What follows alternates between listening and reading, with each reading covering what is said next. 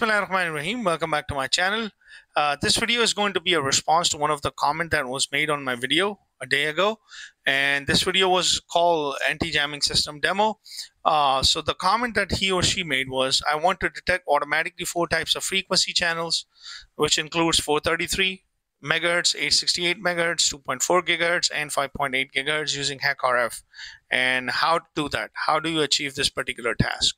So in order for me to achieve this particular task, uh, definitely you got to have your HackRF since the, the comment says you're using HackRF and make sure your HackRF is connected to your laptop. If you install properly GNU Radio Companion, and I made a video on it for Mac as well, for Windows it's easy, and for Mac as well it's easy, and for Linux, Dragon OS Focal comes pre-compiled with this. Everything, if if it works, if it works. Perfectly fine, then this is the steps that you need to do. Just simply type in on open up your terminal HackRF, hit tab, you will see different options HackRF clock, CPLD, info, and things like that. So when I click or uh, when I write info, it will show you all right what version of HackRF that I'm using, what is the firmware version, and this is HackRF 1 and so on. Now the next tool that you need in order to perform this sweep is actually HackRF sweep uh, this is the tool that you need. Uh, so let me show you one more time. Just simply type in HackRF and sweep and just simply type in help. It will show you how you can use this particular script. You need to define uh, uh, what is the gain of your amplifier, what frequency that you want to target, which is minimum and maximum frequency it will give you and then you got to set your low noise amplifier gain or receiving gain antenna and then you got to have you have to set your bin width uh, how many what is the resolution that you want. So I'll walk you through that script. So in order for you to detect this automatically what do you need to do? I have actually uh, copied this script. Let me copy this script and, and walk you through what that is. So simply hit copy and I will also leave the uh, description, uh, uh, this script in the description as well. Simply paste this. So now when you look at this, this is what you're trying to do. You're invoking a tool called HackRF Sweep, and you want to sweep the frequency from 430 megahertz all the way up to 435 megahertz. You want to sweep the frequency uh, in terms of 865 to 870 then frequency 2400 2500 frequency 575 you got to give minimum and maximum frequency both. Then you got to put attack l. This is the gain of your uh, low noise amplifier. So this is the gain. So let me choose this gain to be you can choose from uh, 0 to 40 dB. I can choose this to let's say 26 dB. And then this is the gain G is the gain for your VGA, which is variable gain amplifier, which is 20. You can have it from 0 to 62 dB. And this is W, basically what W is, is actually a bin width. Uh, basically the step size. So it's going to take in a step size. So for example, if it starts sweeping, if it start giving you the frequency content and plus the power of this band. So it's going to go to 430, then 431, 432, 433, 434, 435, and so on. So you will get 100 of these.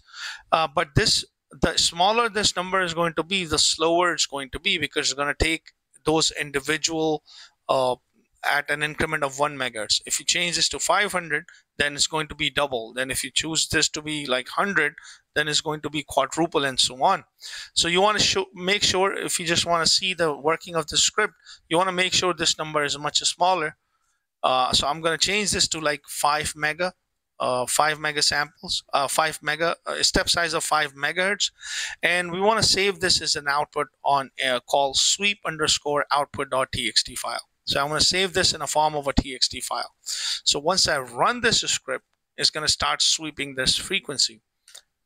Now it's going to start looking for those frequencies. It will automatically start detecting those frequencies with respect to their power. And it's going to start performing this. And it's going to start populating this in a folder called sweep under underscore output.txt in a file of in a form of a txt file. Once you have all of this data, uh, you can always plot this data. So just to give you an idea, once you have all of the sweep running, just control Z it and, and ls it, sorry, ls it, and you will find a folder called sweep underscore output.txt file. Now this file is in the form of a TXT. The next step that you want to do, you want to convert that into a CSV file. So if you want to plot this data, you can also plot this data as well. In order for you to do that, this is the command that you need. Let's copy this command. I was actually testing it before. So just simply paste this.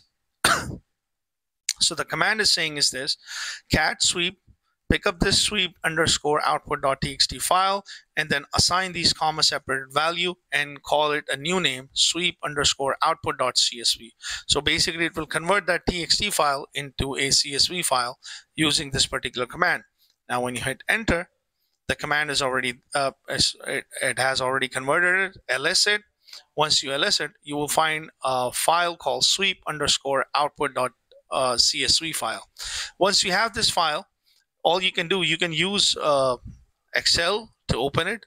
So let me just show you. Uh, just simply go in and let me go to options and go to home and then you will find a file called CSV file. So just double click on it, open it up. And here we go. So you will always get this data. So you will have your timestamp. Uh, you will have um, this is the starting frequency this is the uh, ending frequency start sweeping at an increment of 435 then 440 445 435 440 and so on now and this is the power uh, of individual of these uh, these frequency range you can now uh, look at this data you can select whatever the data that you want. So it automatically start detecting it. It will go on at 400 band 400 uh, megahertz band and then 800 megahertz band and then 2400 megahertz band. But 2400 megahertz band is sweeping from detecting it from 2400 all the way up to 2500 you will see like 20 different steps. And then you can start plotting it with respect to um, high frequency uh, uh, low frequency to high frequency and what is the respective power uh, to that particular frequency. So this is how I think what I understood from your comment is basically this. Uh, so so this is how I would do it. Then I will probably write a, a script for it and then try to plot this as well and based on their power versus their frequency. So this is my approach of, of doing it. Uh, if you have any questions, uh, just leave it in the comment section and don't forget to like and subscribe to my channel. Thanks for watching, but I will also leave both the script and everything underneath this and then I will also leave a link to how to install GNU Radio and things like that as well. So thank you very much and have a good day.